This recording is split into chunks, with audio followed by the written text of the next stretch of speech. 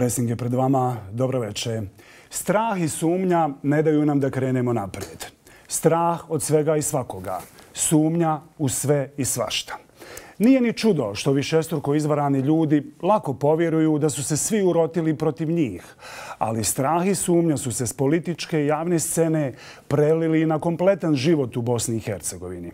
Manipulatori masama odlično su odradili svoj prljavi posao. Etikete izdajnika lijepe se na dnevnom nivou. Izdaje se država, nacija, vjera, moral, ljudskost. U moru nepovjerenja i sumnjičavosti. Pesimizma. Optimisti postaju naivci. Razumijevanje i povjerenje u drugog postaju slabosti i samoobmana. A velikodušnost i dobrota prepuštaju mjesta oholosti, pohlepi i zavisti. A tek patriotizam, kao posljednje utočište hulja, postaje sredstvo obračuna sa svima onima koji ne misle onako kako mi kažemo. O stanju u društvu, ali i na političkoj sceni večeras razgovaram sa sociologom i filozofom. Ali on nije samo to. On je jedan od najiskusnijih BH političara, učesnik pregovora koji su rezultirali najprije Vašingtonskim, a potom i Dejtonskim sporozumom. Nekadašnji član predsjedništva Republike Bosne i Hercegovine i bivši gradonačelnik glavnog grada države Sarajeva, Ivo Komšić. Dobro večer, dobrodošli. Dobro večer. Nisam bez razloga napravio upravo ovakav uvod i niste bez razloga upravo vi večeras gost presinga. I vi ste predmet sumničavosti, gospodine Komšić, optužbi za izdaju saradnju s onima koji, kako kažu, ne žele dobro državi Bosni i Hercegovini. Šta se desilo? Kažu, i Ivo promijenio priču. Odličan je uvod ovaj. ovaj najava je, ne bi je ni ja bolje napisao. Je za šestice i sociologije? Za, za desetku. S tim što, ja uvijek to popravljam, e, ajde sve što je nabrojano je tačno, slažem se sa svim. Ja jedino nisam filozof, ja se bavim filozofijom i pišem filozofske tekstove, ali da bio filozof morao bi imati svoju filozofiju. Mm. Ali ja imam svoju teoriju društva. I kad tumačim društvo, društvene događaje, e, onda se držim te neke svoje teorije. Ali već u ovom uvodu e, rekli ste jednom vrlo važnu stvar, da, su, da je strah e, teorija zavjere, e, smutnje i tako dalje, postali su politička strategija. Razumljiv je strah kod naroda, kod građana. Jer narod koji prođe kroz ono kao što smo mi sve prošli u prošlom ratu, normalno da se boji svake najave rata, blokade države i tako dalje, jer je to prošlo jednom kroz iskustvo ljudi. Mm. I mi imamo narodnu poslovicu koga su zmije klale, on se i guštera boji. I to je, to je razumljivo da kod, tog, da kod naroda to nađete. Ali, međutim, da, da to političari, da na tome prave političku strategiju, da oni e, vrlo svjesno sada s tim instrumentaliziraju narod. To je nedopustivo. I odmah da vam kažem, ja živim s tim narodom. Susrećem se svakodnevno s njima. U narodu nema toga. Nego to je, to je nešto što se narodu želi nametnuti, što ga se želi, dakle, držati stalno u nekoj tenziji, u nekoj opasnosti. Sve je zavjera. Ako nam neko i hoće da pomogne, onda se to prikazuje kao zavjera. Otkud sad vi u tome, profesore Komšiću, otkud sad na jednom optužbe iz dijela intelektualne elite, medija, bojovnika, zdruštvenih mreža, Ivo Komšić, izdajnik. Ivo Komšić, ratni član državnog predsjedništva, jedan od najžešćih zapravo protivnika Tuđmanove politike prema Bosni i Hercegovini. Autor knjige o udruženom zločinačkom poduhvatu.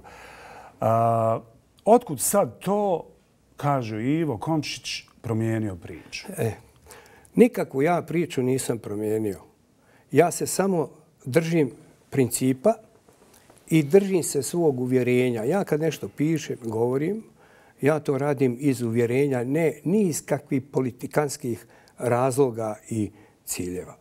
Ja sam vrlo osjetljiv na nacionalizam. I ja sam, recimo, hrvatski nacionalizam prepoznao kad ga gotov niko nije prepoznao. Već 90. godine, 91. Eh, eh, prepoznao sam ga kad je Tuđman vodio svoju izbornu kampanju 90. godine. Ja sam iščitao to dobro, pratio sam ja tu njegovu kampanju, ja sam vidio da on ide ka nacionalizmu. Mi još tada nismo ni znali programe HDZ-a. 92. godine na početku odmah, to je bio, to je 6. 6. januar bio, napisali smo ono čuveno pismo Tuđmanu nas, eh, nekolicina intelektualaca iz Sarajeva, pozorili ga na taj nacionalizam, da će taj nacionalizam koštati prvo hrvatski narod, da koštaće Bosnu i Hercegovinu i tako dalje. E, gledajte sad, ja sam to pratio u kontinuitetu i odmah se opredijelio oko toga. Jer ja znam šta je nacionalistička teza, jel, kad se ona postavi u najbezazlenijoj formi. Ona se razvija, ona se uvijek želi da ostvari. Ako Tuđman kaže novinarima, na kraju 1991. godine na međunarodnoj konferenciji, na, na konferenciji za međunarodne novinare, jel, to je ona godišnja konferencija koju on držao, da Hrvatska ima državne interese svoje, povijesne interese koje želi da ostvari. Pa ja sam znao da je to nacionalizam i odmah reagirao na to. Nisam čekao da nas napadne s vojskom ovdje i da pošalje Bobetka i, i, i da formira Herceg Bosnu i tako dalje. Ja sam to znao. To intelektuarac mora znati. To ne treba čekati da mu se događaj obiju o glavu pa da onda na to reagira. I a šta ja, vi to danas i, vidite? E šta sam uradio? Mm -hmm. Šta je sad danas? Pa ja sam primijetio i vidio da se radi o bošnjačkom nacionalizmu ovdje. Kako? U kojoj I, i, da, i da, se, da se on da je on prvo prikriveno, prikriveno se ovdje e, to, to radilo. Naravno, u sjenci hrvatskog i srpskog nacionalizma mogu se ovdje komotno razvijati tu tezu. Ali dugo ja nisam vjerovao u to. Ja sam mislio da ne može ni vladajuća stranka SDA, da ne može nikad otići na tu stranu, da ne može nikad izdat Bosnu i Hercegovinu. Jer ne može to zbog naroda svoga ne bi smjeli raditi. Jer narod je vezan za ovu državu. Bošnjaci su vezani za ovu državu. Ona im je sve. Što bi trebalo da bude i za Srbe i za Hrvate, nažalost nije tako jer je neke stvari se desile. Ali gledajte sad. Sad na jednom ja vidim o čemu se radi. Bakir vodi pregovore sa Čovićem o stvaranju drugog entiteta. Kako to? Pa, naravno, dok je, dok je bio na vlasti. Pa ako on pregovara o trećem entitetu Šovićem, pregovara se i u drugom entitetu. Ne možete napraviti treći da ne napravite drugi. I ja sam upozorio na to. Odmah na početku. Od tog trenutka ja sam neprijatelj. Pa drugi entitet i treći entitet su raspad ove države. Ne može se to raditi više.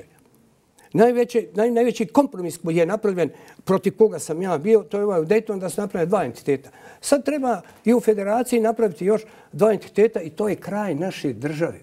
Banker je ušao u pregovore s Čovićem na tu temu. U Neumu su o tome vođeni pregovori. I zato je on, potpisali su Mostarski sporazum. Bakir je potpisao jednako kao i Čović. Mi smo naravno, ja sam znao šta Čović radi, on meni nije bio iznenađenje. Jer on nepresano je želio da obnovi Herce Bosnu koliko je moguće i tako dalje. Ali bilo je sakriveno ovo, makar je to vrlo vješto sakrivao. Da to još da vas pitam, na osnovu čega vi tvrdite da se tu dogovorilo, dogovaralo stvaranje dva entiteta, kad se tu govori zapravo o legitimnom predstavljanju? Čijem? Hrvatskom i bošnjačkom. Da. Pa naravno, jednom i o drugom. Pa jednako je to. Ne, oni su ugovarali etničke izborne jedinice, a etničke izborne jedinice su uvod u et, etničke entitete. Usto, u Mostaru su potpisali sporazum o etničkim izbornim jedinicama u Mostaru, to je takozvani Mostarski sporazum, koji su sakrili. E, Bakar nikad nije objasnio svojim ljudima u stranci, pa ni svom narodu nikad nije objasnio šta je sadržaj tog Mostarskog sporazuma. Meni su iz Mostara ljudi poslali taj sporazum da vidim kad je to bilo, da vidim o čemu se radi. Znam što će ovi stalno poziva na Mostarski sporazum. I gledajte, kad se krenulo dakle, u takve pregovore, onda sam ja vidio koliko je sati da može se zapravo i s ove strane izdati država i da se može raditi protiv države. Šta je sreća? On je ušao u kampanju i tako dalje e, sa, sa e, tezama koje su neprimjerene, naravno, ali e, sreća je što ipak glasači, bošnjaci, bošnjački narod, nije dao glasove za to. Nije narod, nije narod za to. Mi kad govorimo o, o, o bošnjačkom nacionalizmu, kad ja govorim o bošnjačkom nacionalizmu, kad pišem o njemu, ja govorim argumentirano, ja ništa ne izmišljam. Ali nikad ne mislim da se radi o bošnjačkom narodu. Pa nije bošnjački narod nacionalista nego se nacionalizam pokušava plasirati u narod. Tako svaki nacionalizam ali to radi. Izetbegović njegova stranka više nisu na vlasti. Istina jeste da su Tako... osvojili pojedinačno naj, najviše glasova. Ali eto, prošlo je već izvjesno vrijeme od tim ostarskih pregovora. SDA više nije vlast. A ko vas sad napada, ko vas sad naziva izdajnikom zbog upiranja u, u bošnjački nacionalizam. I recite mi ovo prije toga, boli li vas ljudski što vam sada lijepe tu etiketu izdajništva? Pa da vam kažem, naravno da me to, to me pogađa kako se lako u zaborav sve stavlja što su ljudi radili. Pazi, ja sam, ja sam 25 godina bio izdajnik hrvatskog naroda. Jel? Bio sam malin Hrvat i tako dalje. Tada su mi ovi isti nacionalisti bošnjački aplaudirali, zakivali me u zvijezde i tako dalje. Šta su misli? Da ću ja njima prešutiti njihov nacionalizam. Ne dolazi u obzir. Kao što sam razobličavao hrvatski, tako ću uporno razobličavati i njihov nacionalizam bez obzira u, u kom obimu bio. Međutim, ima jedna stvar ko, koja, koja je ovako, kako bi rekao, optimistična. Ja kada razgovaram sa ljudima, sa narodom s kojim ja živim, sa bošnjacima i tako dalje, oni misle da sam ja sve u pravu što govorim. Sve. Ja još nisam sreo čovjeka koji je meni prišao i rekao, znaš šta, što ono radiš? Naprotiv, neko ono govoriš jer nama, mi ne smijemo o tome govoriti. Ko su Zašto bošnjaci o tom ne smiju govoriti? Ko su predvodnici? Ko se za... I pa, koja, kakav Pazite, je taj nacionalizam? To je zapravo, gledajte nešto. Mi možemo ovdje malo pojednostaviti stvari. Šir, velika je široka je tema. Ajde, probajte a, a, ukratko. A gledajte, dakle... ko su... E, šta, šta, ono što, što, što mene pogađa, a, a nema ograde oko toga. Jel, mene e, e, vrijeđa me to što se nacionalizam u jednom narodu jel, koji mi imamo poistovjećuje sa cijelim narodom. Stalno se taj nacionalizam, hrvatski nacionalizam, srpski nacionalizam, poistovjećuje sa narodom, cijelim narodom. Ja sam daleko od toga, nikad ne bi poistovjetio bošnjački nacionalizam sa bošnjačkim narodom. Pa dobro, Uvijek imaju ljudi... su vam mnogi e, zbog citiranja ovog jednog s protesta ispred OHR-a da treba Hrvate strpati uh, u vagon, da ste tada zapravo cijelom jednom narodu uh, prišili tu mržnju prema, prema Hrvatima. Um... Ne, ja uopće to nisam. Ja sam naprotiv izdvojio to kao citat. Da, uh, uh, međutim, ajde uzmemo da je to bio incident date na jednom skupu. Može biti incident, ne možete ni reagirati, tako dalje. Ja sam o tome već govorio u medijima. Ali zašto niko poslije toga nije reagirao na to? Čak ti koji su bili na skupu. A pazite, tada je na skupu bio vrh SDA. Cijeli vrh je bio na tom skupu, kad je to rečeno. Nisu ni poslije toga reagirali niko, čak ni intelektualci bošnjački koji sam ja to očekivao, da kažu čekajte, stanite, pa nemojte pretjerivati. Pa ne Dobro, jesi, mi... evo, ne, neki dan, gledajte. gospodine Komšiću, a, obratio vam se javno jedan od bošnjačkih intelektualaca. A, traži od vas da jasno i nedvosmisleno, evo ja ću citirati, profesor Lavić kaže da jasno i nedvosmisleno, nedvosmisleno objasnite zašto odbijate i minirate koncept bosansko-hercegovačkog identiteta ili bosanske nacije koji se zasniva na etničko-konfesionalnom principu. To je miniranje postojeće činjenice bosanskog nacionaliteta, kaže profesor Lavić, već odavno postoji bosansko-hercegovačka nacija kao jedna internacionalno priznata država u internacionalnom poredku Ujedinjenih nacija. Evo prilike za vas da odgovorite na ovaj upit. Pazite, Samo, Ali vraću vas ja i na ovo ko su predvodnici samo, bošnjačkog Evo, evo samo da vam dodam. Ako je ovo bio incident o kome smo govorili pred OHR-om, ovo nije bio incident. Samo jedna rečenica da 400.000 Hrvata iz BiH žive, da žive u Hrvatskoj, dobili bi manje od desetne vlasti, a ovdje dobivaju trećinu. Znate ko je ovo rekao? Bakir Izetbegović u Livnu, u svom obraćanju 5.8. u kampanji. To nije incident. Evo sad dalje. Nije, nije ovo incident. Moramo biti otvoreni. Katolička manjina, pazite sad, upravlja sa muslimansko-ateističko-komunističkom većinom Nije, nije ovo incident, ovo je rekao bivši ministar. I tako dalje, imamo ovdje puno toga, a nećemo zamarati ovi koji nas gledaju time, s ovim ćemo završiti. Dakle, ne radi se o incidentima, radi se o antihrvatskoj kampanji. I u toj antihrvatskoj kampanji napada se uh, mene. Dobro, ajmo ovako, dakle, da vas vratim e prvo na ovo. Ko su danas predvodnici? Eto, SDA više nije vlast. Ko su danas predvodnici bošnjanskog nacionalizma i što kažete antihrvatski? Pa to imate sada unutar SDA, naravno, pošto je ovu kampanju, ova kampanja antihrvatska i protiv mene je unutar SDA, da se razumijem. I to u dosta uskom krugu.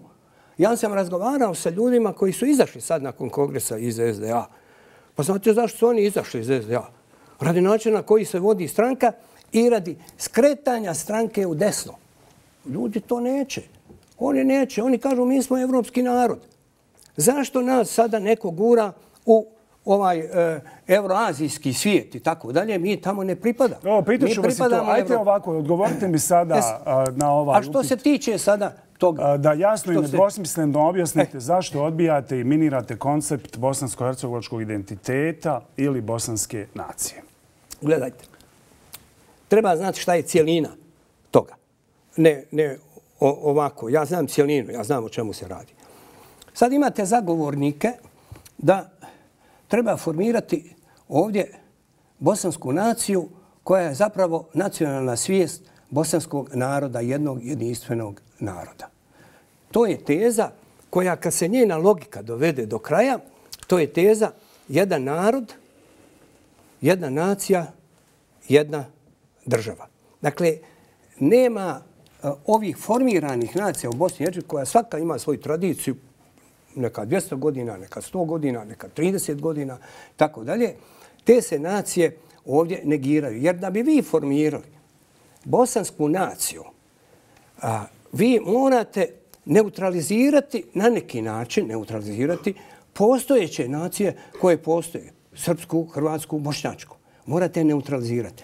Ali oni čak idu dotle daleko da kao ta bosanska nacija treba biti nadnacionalno određenje kao e, državljanska nacija, državljanska nacija državljana BiH, a ona u podsistemu svom može imati zadržati ove nacije kao ne briše ona te nacije. To je protivrječnost u sebi, to, je, to se kaže protivrječnost u pojmu.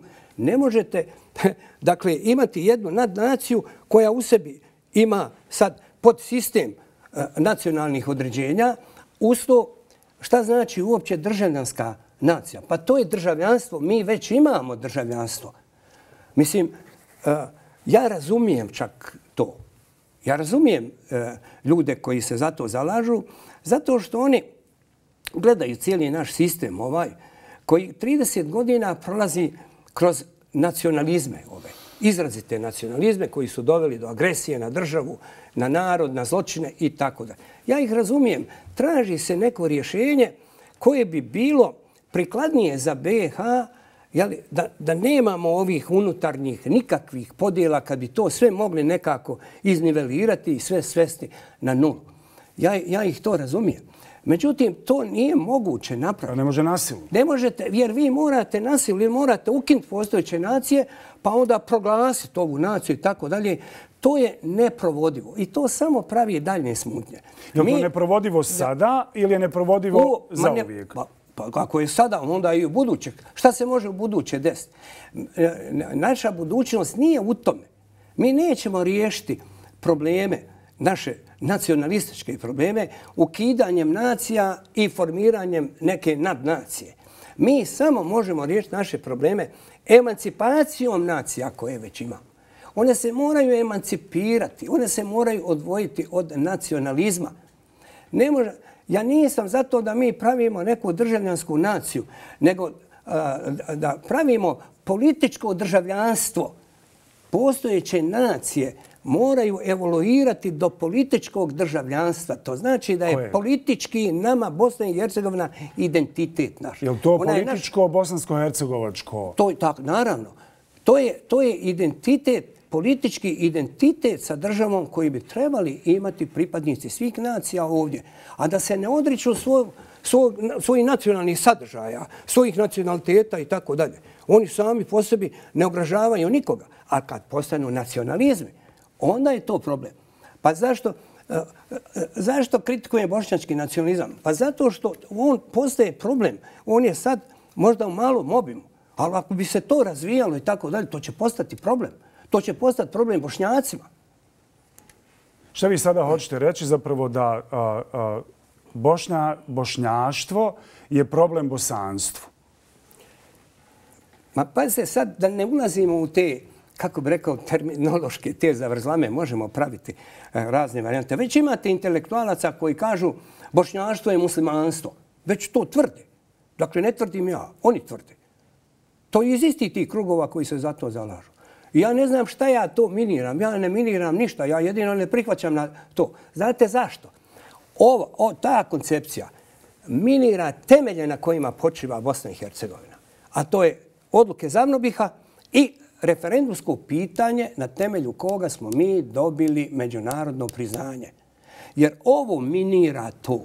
Jer Zavnobih Čak dio je... tih krugova, intelektualno, medijsko, kako bi ih već nazvao, a, a, plasira ideju da, da Bosna i Hercegovina treba odustati od, od, od ideja Zavnobih. Pa jasno. Pa oni već to pišu. Kaže ovako, šta je Zavnobih? Pa kaže, to je izraz jednog vremena i to nije nikakvo sveto slovo.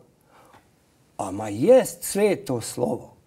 Jer je to definicija Bosne i Hercegovine koja je razriješila međunacionalne probleme u Bosni. Evo, juče smo imali promociju knjige. I srpska, i hrvatska, i bošnjačka, da, tada muslimanska. Ne, sad se kaže ni srpska, ni hrvatska, ni bošnjač, ni, ni, ni, ni, ni, ni, ni muslimanska, već bosanska. Mm -hmm. Sad je to, to je teza. Gledajte, juče smo imali promociju knjige Nerzuka Čurka. O, o, o, glavna tema je, zavno bih tako da. Bogić Bogićević je govorio, naveo je nešto što možda je javnost i zaboravila, to vi stariji pamte, mladi ne znaju. E, noć u oči Zavnobiha.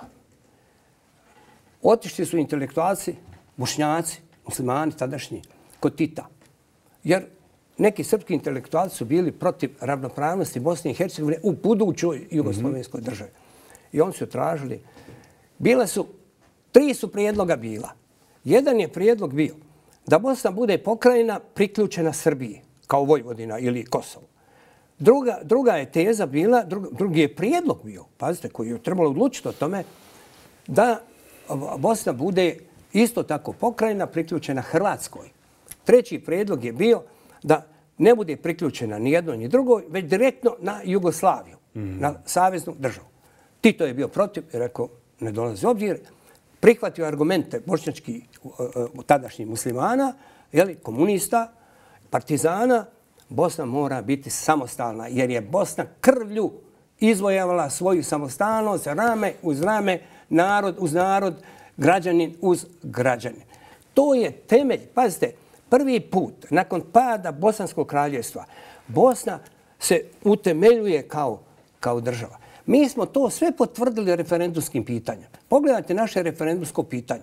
Da li ste za suverenu, nezavisnu državu Bosnu i Hercegovinu, e, državu građana i ravnopravnih građana naroda, pa su narod nabra i ostali koji u njoj žive. Je li Dejtonski sporazum poništio jeste. tekovine zavnobiha? Jeste. I referendumsko pitanje? Nažalost, jeste. Ali ne smijemo mi to prihvatiti. Mi, mi moramo re, e, uh, Dejtonski sporazum ipak svat, shvatiti kao tranzicijski sporazum, a ne kao trajno utemeljenje naše države. Trajno utemeljenje je 25. novembar, Zavnobih i referendum. Zašto je referendum važan? Pa narodi naši su na referendumu, mi smo izašli glasali za to. Mi smo to izglasali. I to ne samo bošnjaci i hrvati, nego i srbi, veliki dio. Zato je referendum prošao s tim procentom. A na temelju toga smo dobili međunarodno priznanje. Svijet nam je to uh, priznao. I onda su naravno u ratu kako je sad to teklo i tako dalje, u, u velikoj mjeri je Dejtonski sporazum odustao od toga. Da barem nije, da nije napravljena entitetska struktura države, ajde nekako bi se još i moglo to, uh, kako bi rekao, ubrzanije popravljati. Međutim, sa entitetskom ovom strukturom to je prilično zakovano i bit će teško to popraviti, iako ja vidim sada, jel, i Amerikanci, i Britanci, i Evropska unija imaju neki zaobilazni put kojim se polako to može prevladavati. Evo neki dan jasan stav američke ambasade da sa ovakvim uređenjem Dejtonskim zapravo Bosna i Hercegovina ne može ući u Evropsku uniju. Bilo je priče o tome da ne može dobiti ni kandidatski status, da ne može početi pregovore, ali evo, ova zemlja je na pragu početka pregovora o članstvu u Evropskoj uniji. Hoće li se to desiti u martu? Evo, ti 14 uvjeta još postoje, ali konkretno sada se traži usvajanje tri zakona da bi počeli pregovori u martu. Čujem da osim ovih javnih stvari koje vidimo, da se dešava dosta aktivnosti izvan scene u pokušaju da se zapravo postigne dogovor oko oko tih zakona, ali opet, naravno, i Dodik i Čović pokušavaju sada u ovim pregovorima ugurati ono što njih zanima da bi, eto, kao odapeli i ovaj paket. Ne radi se samo ovdje o dobrohotnosti Evropske unije, jeli, njenoj otvorenosti prema nama. Jeli. E, radi se o tome da se geopolitička karta svijeta i Evrope mijenja. Mi smo sada dio toga. Mi nismo više izolirani ovdje kao što su. Oni su nas u ratu izolirali. Mi smo vodili rat ovdje i samo su se trudili da ne izađe iz ovih okvira. Pustili su nas da ratujemo, da, da, da, da, da izginemo. Međutim, e, sad, ne našom zaslugom, mi smo postali važan interes njihov. Jer pogledajte sad, geopolitički, Bosna i Hercegovina se nalazi duboko u teritoriji NATO-a i duboko u teritoriji Evropske unije. Pomaknuta je granica do, do, do Crnog mora. Mi smo unutra. S druge strane, Putin nas je upisao u svoj državni interes. I stalno to napominje. Mi imamo ruskog ambasadora ovdje koji to ne krije. Stalno vodi kampanju tu. Vi ne smijete krenuti u evroatlantske integracije jer tog trenutka vi, na, vi u, u, dovodite u pitanje ovdje naš državni interes i mi ćemo poduzeti mjere. On čak i prijeti i tako da. Dakle, pogledajte. Sad se o tome radi.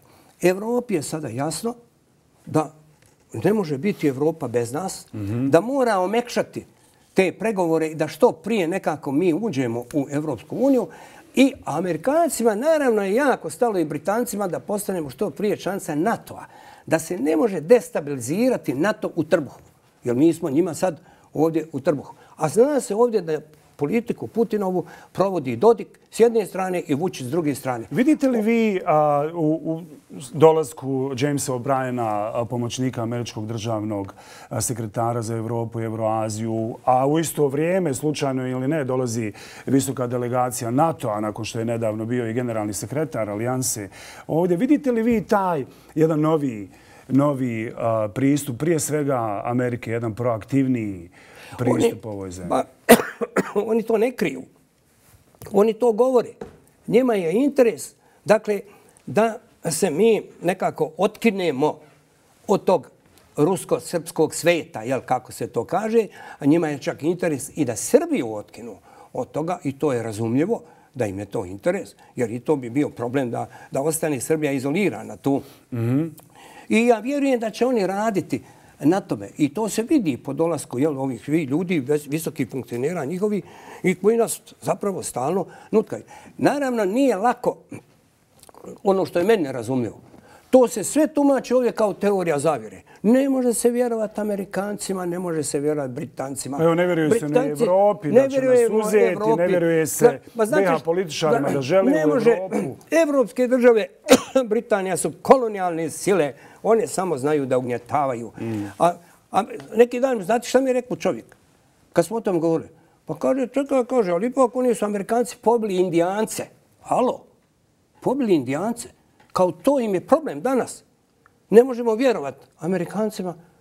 Pa pogledajte vi dokle se ide u toj antizapadnoj kampanji. E kako Ovdje. se desilo, a profesor, evo sad je pravo vrijeme za to pitanje, da ta antizapadna kampanja, da se iz Banja Luke prelije na Sarajevo? Naše su zajedničke interese. Koje? Zajednički interes je da se ne ide u Evropsku uniju i da se ne ide u NATO. Pa pazite, to A čiji je, je to zajednički to je, interes? Evo, pa evo sad ću vam reći. To je ovdje, e, kako bih rekao, to, e, te teze je ovdje prvi postavio, a, prvi inicirao turski predsjednik Erdogan. Kad je došao prije početka naše kampanje, ove zadnje, on je održao ovdje nekoliko sastanaka, držao je jedan vrlo važan sastanak, čak su bili i ovi e, vjerski velikodostojnici, tu bio je vrh SDA, je bio tu, tako dalje.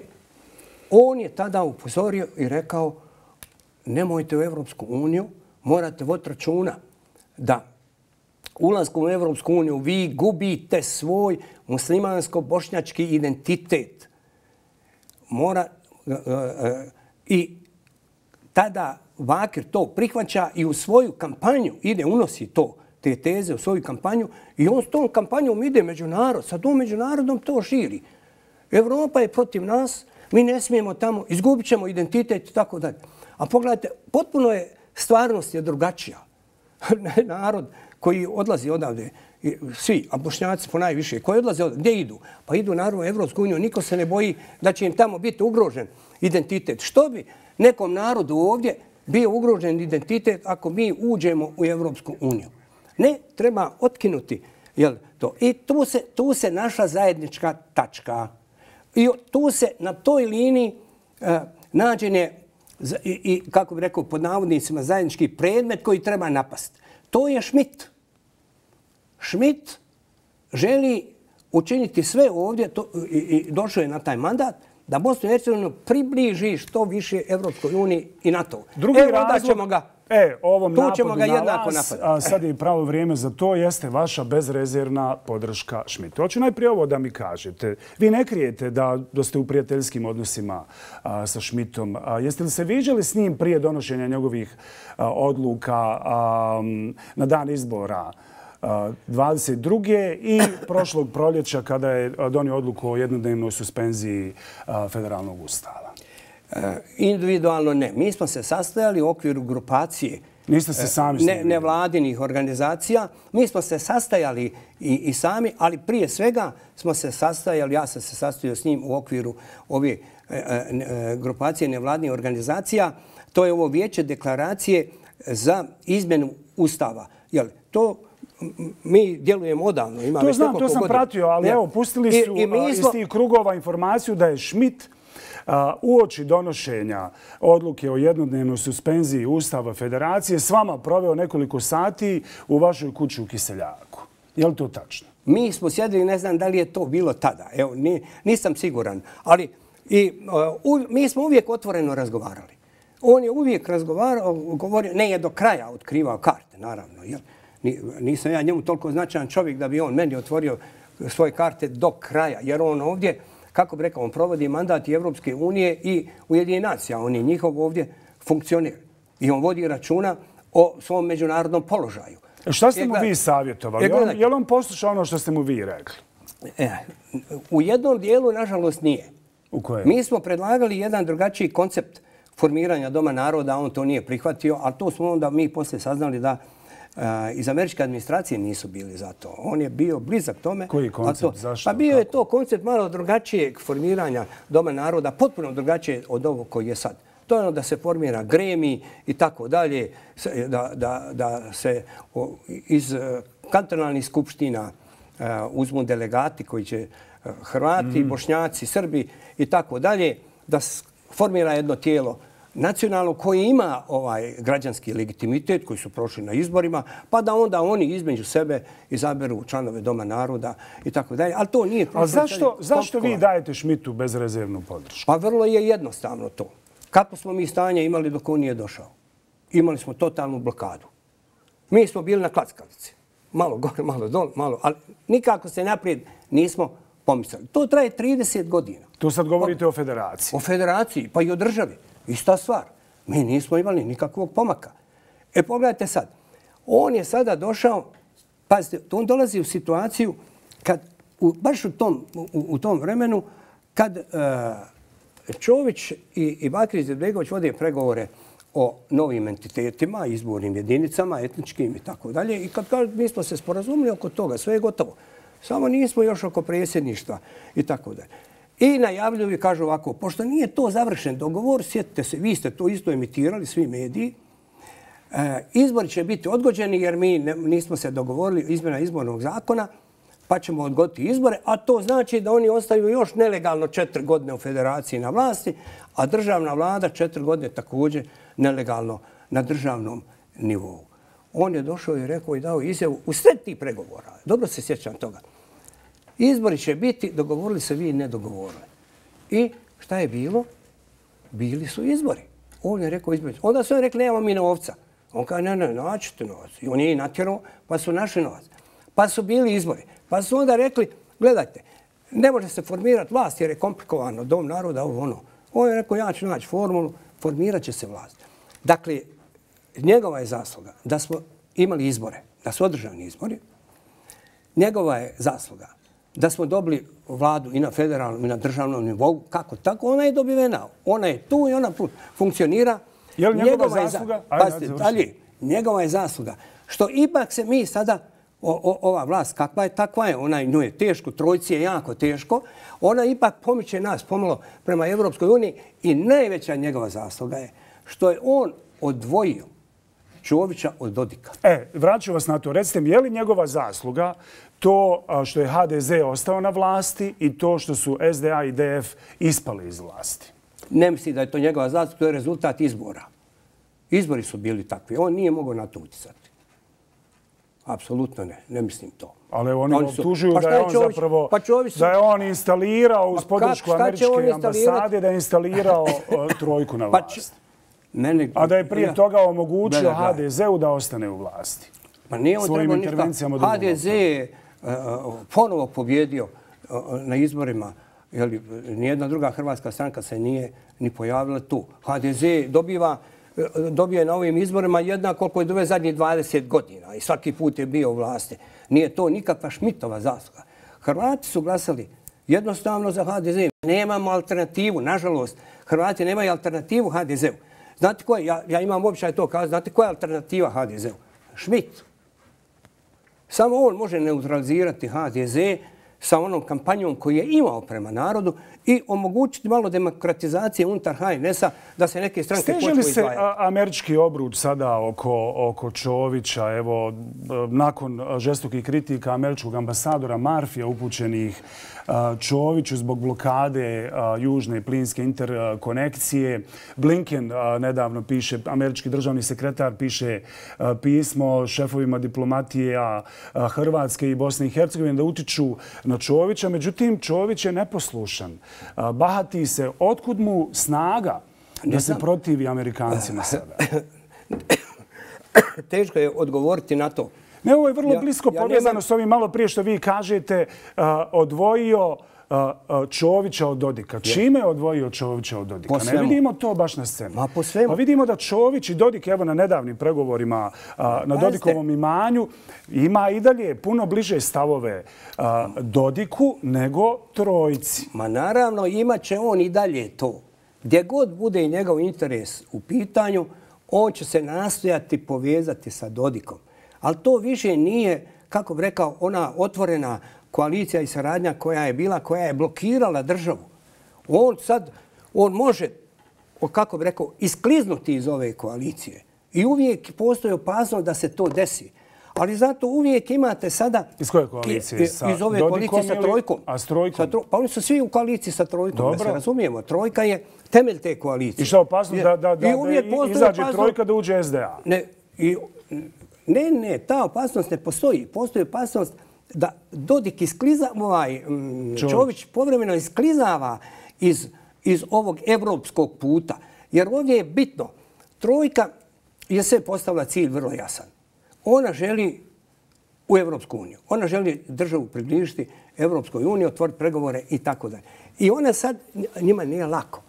Oni sada drže, imaju dva utega velika. Imaju Čovića i imaju o, Dodika. Ali ipak ta dva utega su na različitim sad stranama, nisu na jednoj strani. Da su na jednoj strani, to bi prevagnulo. To je, to je ono što, što je uspio Schmidt ovdje uraditi. i što je uspjela pa ne, Evropska vas, unija... U čemu je Čo, uh, Šmit uspio Čovića odmaknuti od Dodika? Taj savez još uvijek postoji. Ne. Taj, sa, ne? taj savez ne funkcionira. Uopće. Ja ne znam u čemu funkcionira. Pa evo kažem, na nedavnim pregovorima ja. Čović i Dodik imaju vrlo bliski stavovi. I šta će u parlamentu se još uvijek pa vrlo bliski stavovi HDZ-a i SNSD-a. I šta će biti rezultat toga? Pa evo, vidjet ćemo. Pa vidjet ćemo. Evo, ja vam tvrdim da ćemo vidjeti. Može biti podrška usvajanju zakona neophodnih za početak pregovora sa Evropskom unijom? Pazite, oko, oni će morati usvojiti te zakone, da se mi razumijemo. Čović će na kraju odustati od svega ili će Amerikanci poduzeti ono što su najavili. Mislite da će završiti i on na crnoj listi? Pa ne znamo će završiti na crnoj listi, a ne znamo šta su oni tačno naumili. Ali oni su ozbiljni. U ovom slučaju su ozbiljni jer se tiče njih i njihovih interesa ovdje. Prema tome, ne vjerujem da će oni to dozvoliti. Amerikanci nisu krili, čuli smo to od i specijalnog izaslanika američkog za Balkan i raznih drugih američkih dužnosnika, zapravo da je jačanje bošnjačko-hrvatskih odnosa sada prioritet.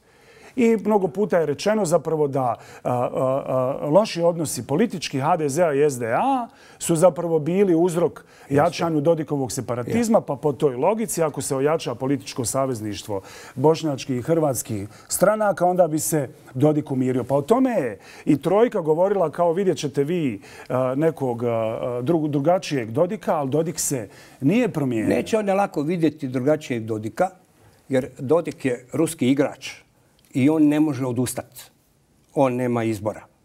Pazite, i to će tako ostati. I on je predmet međunarodne zajednice. Je li samo ruski igrač? Ona se moraju... Pa ja, ne vidi se da je nečiji tuđi još. A, a što se tiče sada ovoga, na čemu insistiraju Amerikanci, ja o tome govorim u, e, u, u zadnje vrijeme vrlo često. E, zašto, je, zašto je potrebno sad međunarodne zajednice, da tako kažem, ne samo Amerikancima, da se napravi jaki politički savez, sad uvjetno kazano Hrvata i Bošnjaka, odnosno stranaka koje predstavljaju jel, te, te narode, da se napravi jaki savez da bi se moglo e, parirati ovoj Dodikovoj politici. Ne može, ako, ako HDZ podržava Dodika, ne možete tome parirati. To nije jednostavno. Ali ako se e, preusmjeri politika Hrvatska ovdje i Bošnjačka ka Evropskoj uniji, jer to i objedinjuje. Njih treba da objedinjuje put ka Evropskoj uniji. A je li čovjek sada problem za jačanje tih političkih odnosa bošnjačko-hrvatskih? On sad, pazite, ostavimo Čovića. Kako funkcionira Borena Krišto? Pa ja mislim, kadar HDZ-a. Ja, pa i naravno, ja mislim da ona funkcionira dobro. Ona radi svoj posao. Ona ne pravi, nemate problema. Tu nikakvi problema ne. Ona je vrlo kooperativna. I taj put ka Evropskoj uniji je tu nedvosmislen.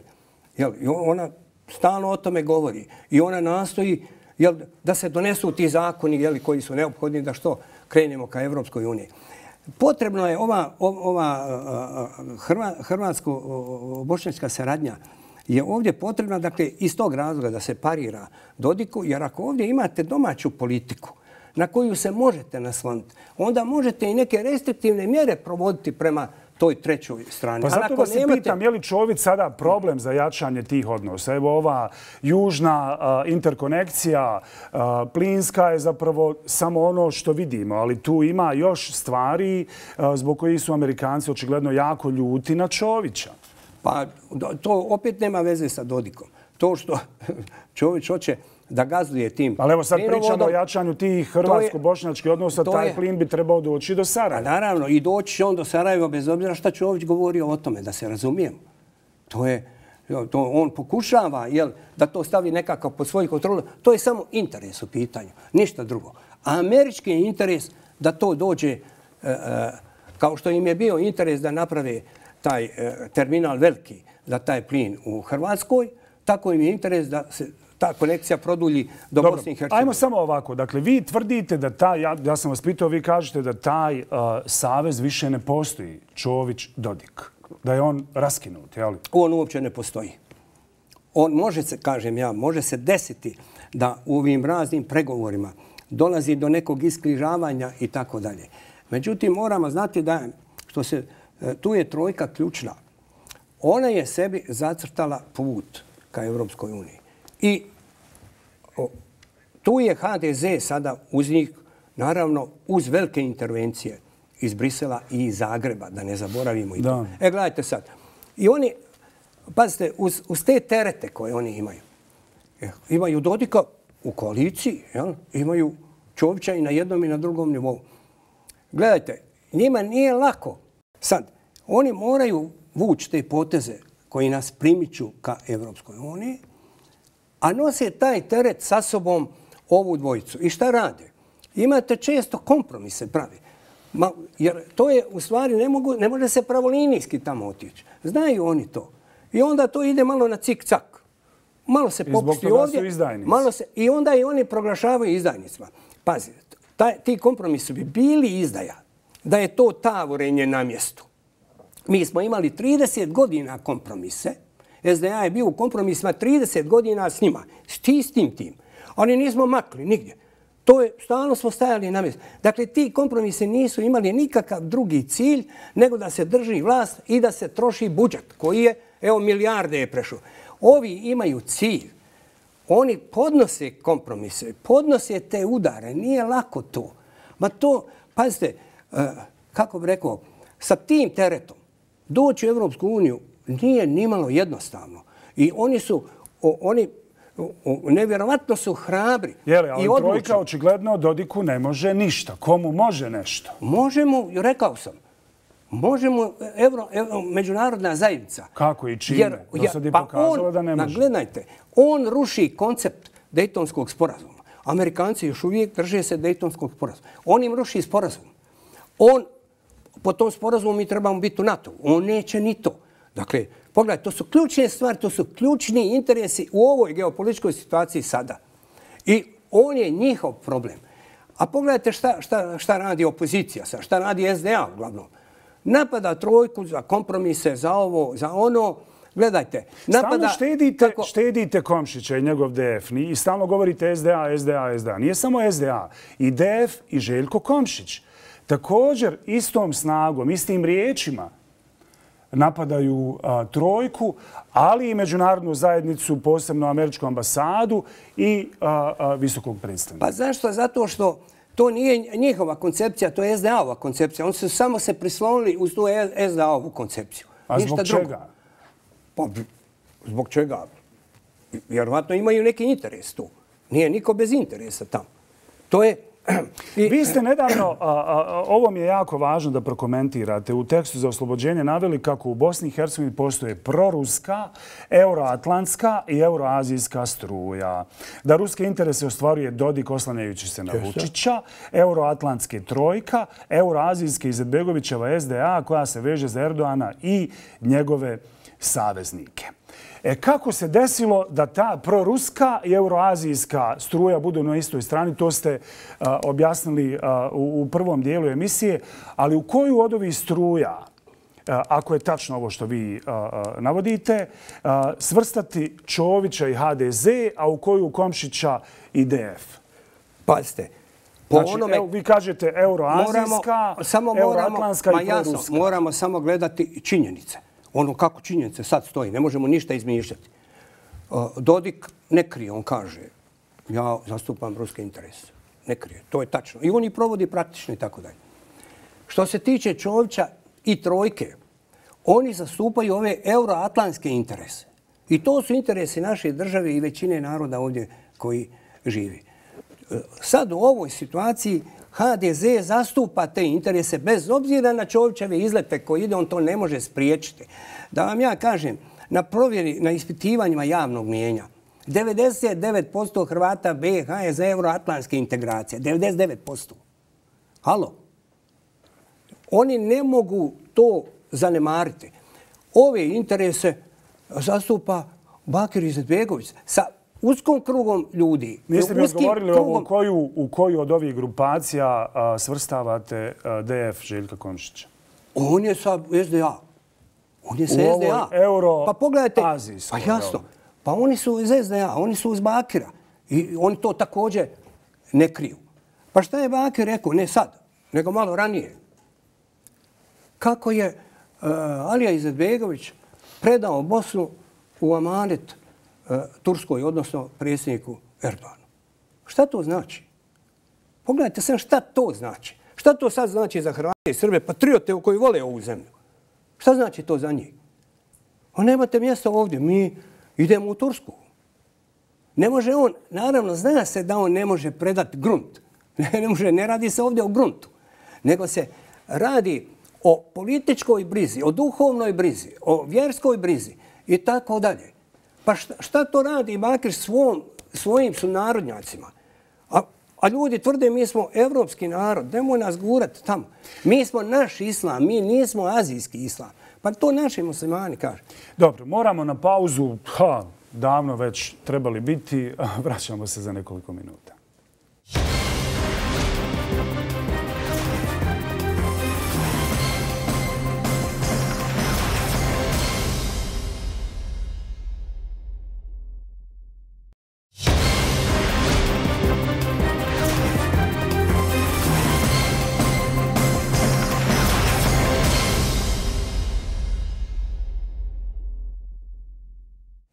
Evo nas nazad u presingu, bivši član predsjedništva Republike Bosne i Hercegovine, bivši gradonačelnik Sarajevo, Ivo Komšić, večeras e, gost emisije.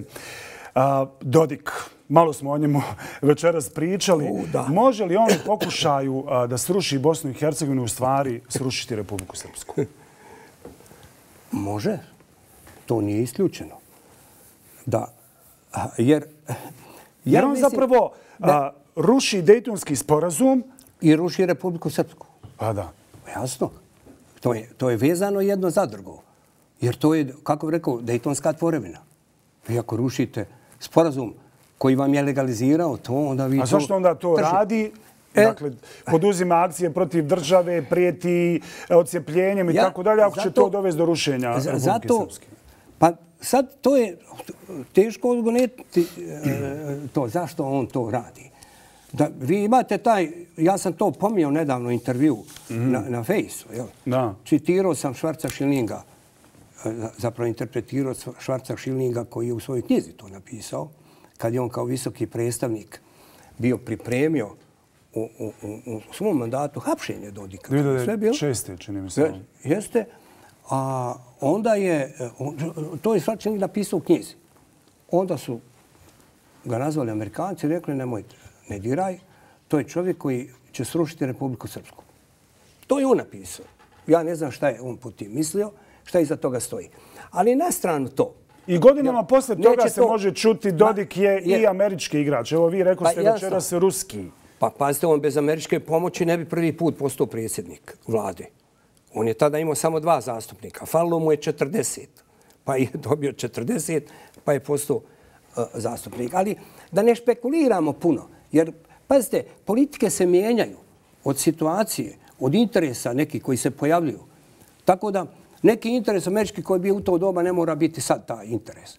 Dodikov interes koji je bio u to doba ne mora biti sad taj interes. Ja znam Dodika iz vremena kad je bio velika opozicija srpskom nacionalizmu, Karadžiću, ja ga znam dobro, i pregovarali smo, pričali, sastajali smo se čak u, u, vani, jer on se nije smio sastati nigdje ovdje u blizini s nama, nego smo se po Italiji sastali i tako da. Dakle, čovjek se mijenja. Ja znam kad je on zastupao stav da treba ukinuti onaj Republiku Srpsku, da treba uh, u, u, u, ukinuti vojsku uopće da džaba ne trošimo pare, trebamo biti u NATO-u i tako dalje. Kad je bio je veliki zagovor promjene ustava Daytonskog to. Ali ljudi se mijenjaju. On je, sad čiji je on, pod čiji interes on došao? On sad tvrdi da je to interes Putinov, i Rusije. I ono što radi... I onda on kaže da je to interes naroda, dobio legitimitet i, tako je. I onda, a lako je narod dobiti usto, jel? Narod strašite sa Zapadom, Evropom, Amerikom i NATO. Evo, umirio se protekli dana, e, barem nema njegovih zapaljivih Međutim, izjava, ali je jasno da on ide s tom pričom, i ne samo pričom, poduzima i akcije. Gdje je ta granica? Ta crvena linija, kad će se konačno uključiti međunarodna zajednica i zaustaviti ga u pokušaju rušenja države. Šta ja mislim o tome? Ili, ili je ovo istina što vi kažete da će ga pustiti da ide do kraja, pa da tako sruši Republiku Srpsku? Onaj, uh, ja mislim da neće to, to, to je sada, kako bih rekao, više neki verbalizam, špekulacija, srušit će, neće srušiti, možemo špekulirati. Mislim da je realnije ovo. Uh, ja sam bio na 20. godišnjici Dejtonskog sporazuma u Dejtonu. Bila je velika konferencija, o, Amerikanci su je organizirali, trajala je 5 dana. Na konferenciji su bili svi sudionici Dejtonskih pregovora koji su bili na životu. Svi koji su bili živi od Clintona, pa da svi su bili mm. tamo. Wesley Clark i ostali. E, I govorilo se o Daytonu i tako dalje. Ja sam imao izlaganje i bio sam vrlo kritičan prema Daytonskom sporazumu. Onako kakav sam i bio, vi znate da sam ja odbio, ja nisam glasao za Daytonski sporazum. Ja sam bio protiv takvog sporazuma i znam sve njegove mane. I te nas mane danas udaraju. A gledajte, ja, ja sam bio kritičan i onda su mi u, u pauzi prišli neki naši ljudi koji su tamo bili.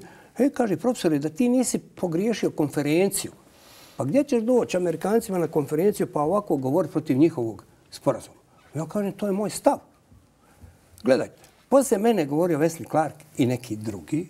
Oni su bili deset puta žešći kritičari Dejtonskog sporazuma od mene. Ja sam tada shvatio da, da, da, da su oni shvatili u stvari u čemu je greška. U čemu je greška? O, greška je u entitetskoj konstrukciji Bosne i Hercegovine. Greška je u tome što su političke stranke koji su vodile ratove ovdje ostale na vlasti i njima je omogućeno izborima da stalno ostaju čekajte, na vlasti. Čekajte, čekajte, to mi je jako. Ja, ajde, ajde, završite pa da do ova, ovo sad da vas pitam što mi je pomenuo. E sad, Amerikanci sad, pogotovo u ovoj geopolitičkoj mhm. situaciji mm -hmm. koju se mi nalazimo, oni, oni vjerovatno imaju sada drugi put. Ne ide se ka ukidanju Daytona, ka nekoj novoj konferenciji, tako da.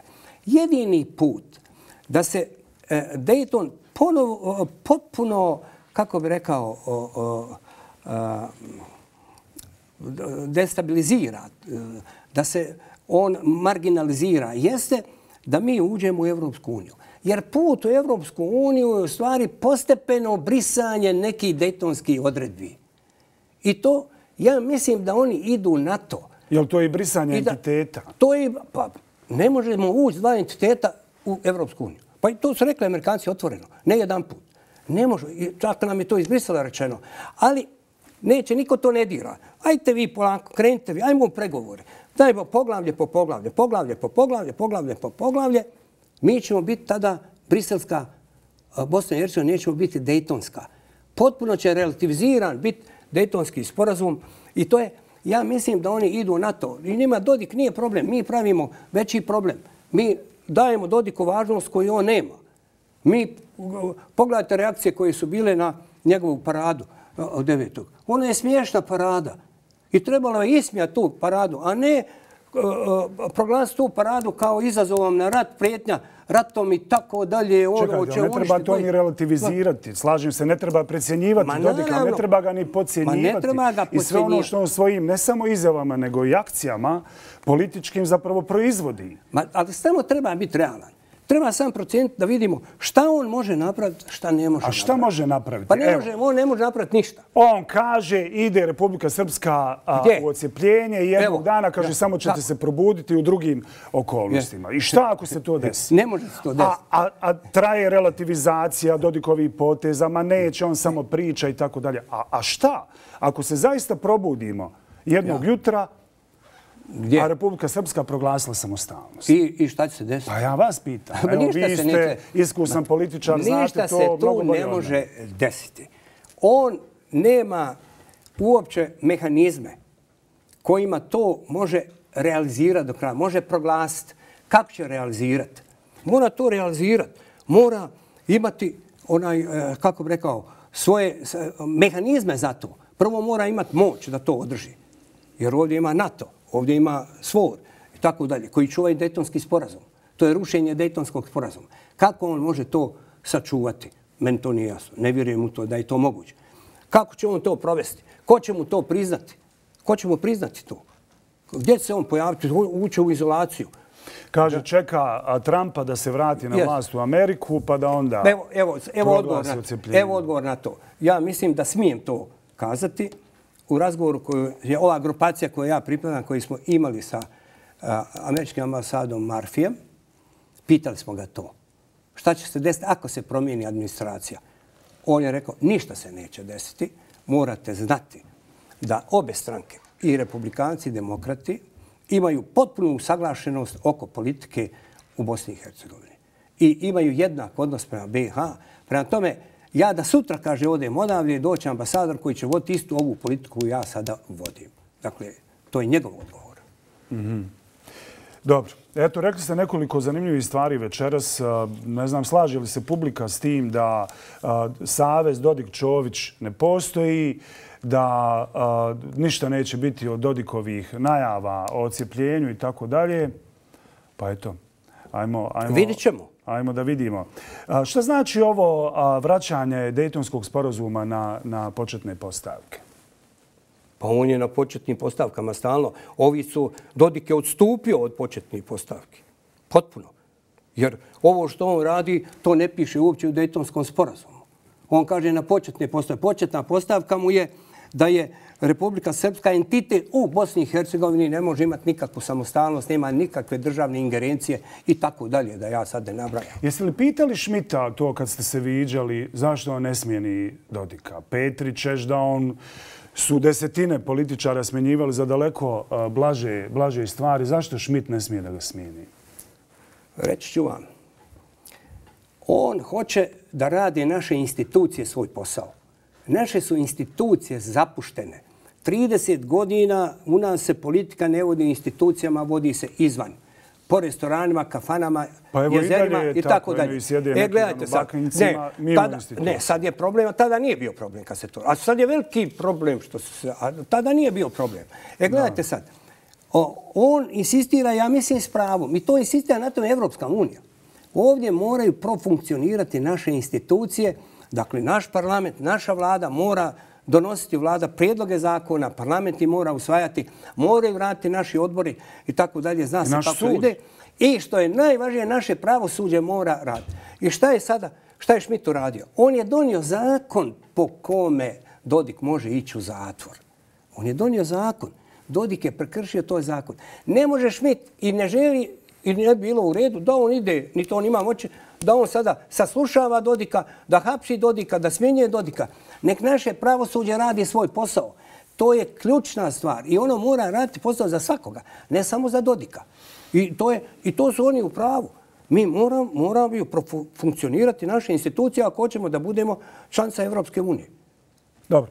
Evo nas na kraju emisije. A, jako je važno ljudima da čuju šta vi kao neko koji je bio u, u Washingtonu na pregovorima, u Daytonu uh, na pregovorima, uh, danas mislite o situaciji u Bosni i Hercegovini, posebno onome šta nas, šta nas čeka, šta nas čeka u buduće, šta nas čeka?